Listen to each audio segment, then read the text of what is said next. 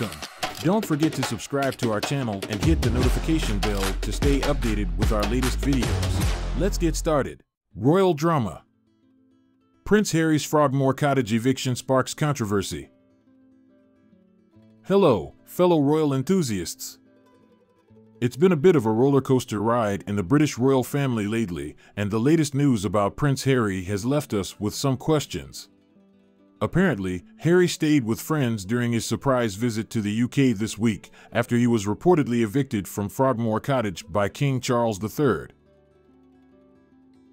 Harry returned to Britain for the first time since the late Queen's funeral to attend a court hearing related to his privacy claim against the Daily Mail publisher.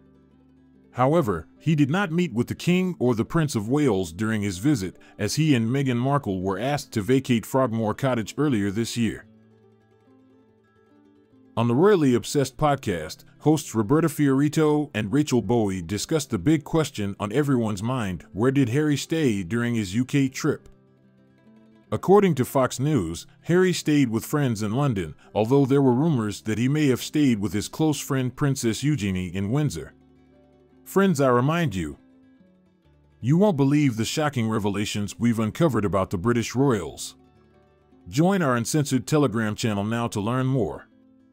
Link in the first pinned comment below.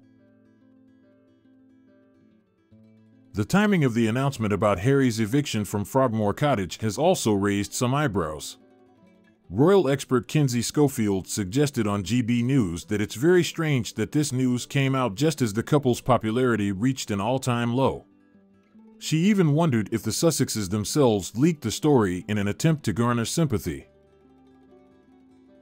Of course, there's always more to the story than what we see in the headlines. We don't know exactly why Harry was asked to leave Frogmore Cottage, and we may never know the full truth. But as always, we'll be keeping a close eye on the royal family and bringing you all the latest updates. Stay tuned. Thank you for tuning in. New and intriguing videos about the royal family are now available for you to watch on your screen.